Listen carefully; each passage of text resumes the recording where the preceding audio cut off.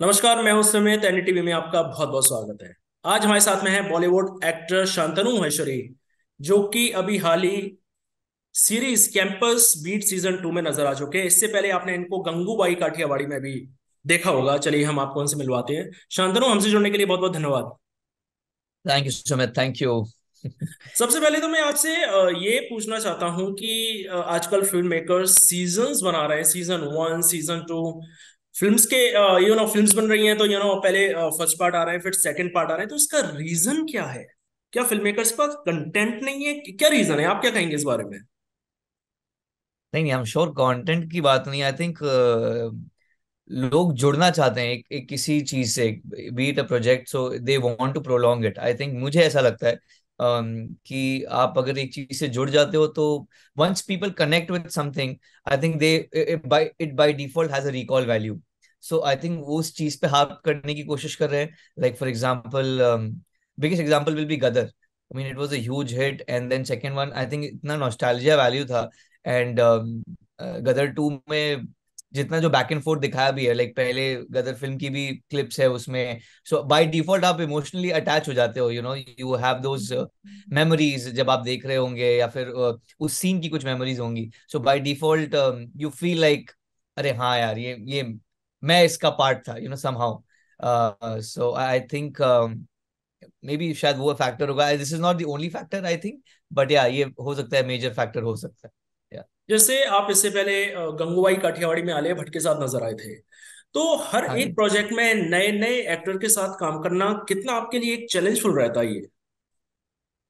Um ये ये वाला प्रोजेक्ट तो बहुत चैलेंजिंग था आई वुड से बिकॉज़ ये मेरा भी कैरेक्टर बहुत ही डिफरेंट है as compare to what I have played in the past और um, इसमें ये uh, क्योंकि एक डांस बेस्ड शो भी है सो so इसमें आपके मेजर जो कास्टिंग हुई है उनकी वो डांसर्स है। एंड मोस्ट ऑफ़ देम का ये पहला प्रोजेक्ट है। So it was lovely to to you know absorb एकदम यंग एनर्जी फ्रेश एनर्जी एक रोनेस के साथ।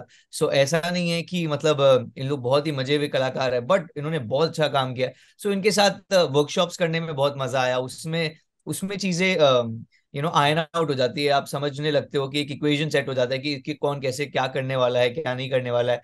What what the approach is gonna be of uh,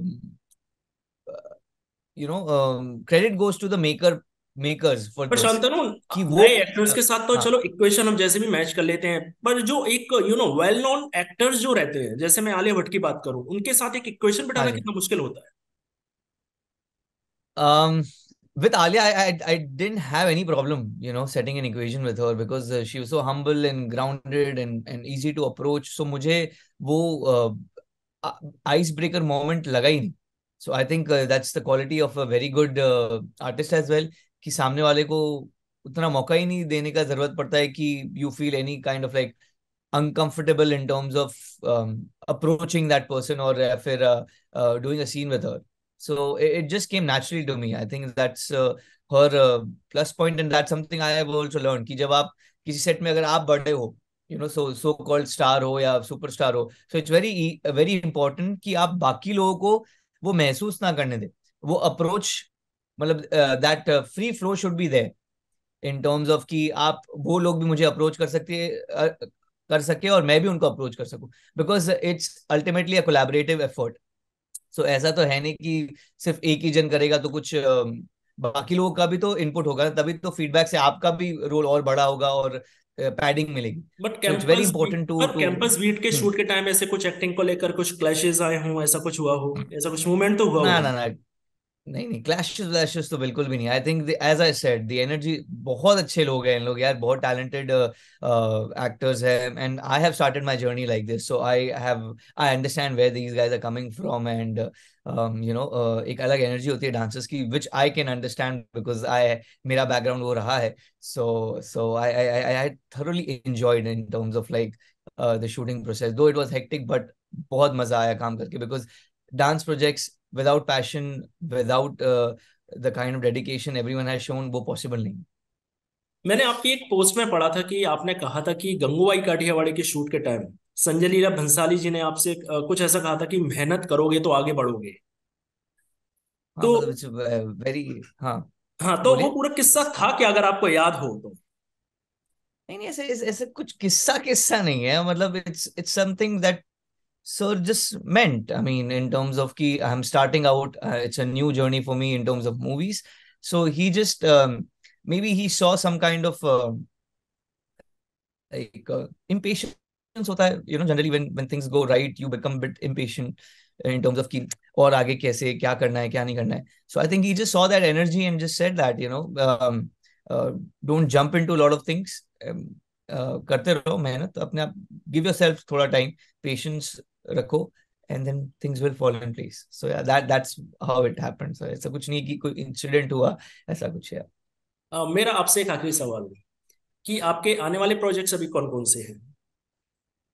Um, I have a movie lined up with Neeraj Pandey sir it's called Auron Mein Kahan दम था जिसमें uh, Ajay sir है Tabu ma'am है uh, Sai Manjrekar है एंड जिमी शेरगिल है. सो so, उसमें एक वो फ़िल्म है season three of campus beats obviously that's lined up and एक बंगाली रीजनल फ़िल्म कर रहा हूँ मैं first time my debut in Bengali industry it's called Chalchitro directed by Pratim Das Gupta. So yeah, these are the few things that I can talk about. So yeah, Shantanu ji हमसे जुड़ने के लिए बहुत बहुत धन्यवाद thank you so much Sumit. Thank you. बहुत दिनों बाद मिले हम लोग बहुत अच्छा लगा ये थे हमारे साथ बॉलीवुड एक्टर शांतनु महेश्वरी, जिन्होंने अपनी series campus beat season two और गंगूबाई काठियावाड़ी के बारे में हमसे खुलकर बात की है। आज के लिए बस इतना ही। नमस्कार।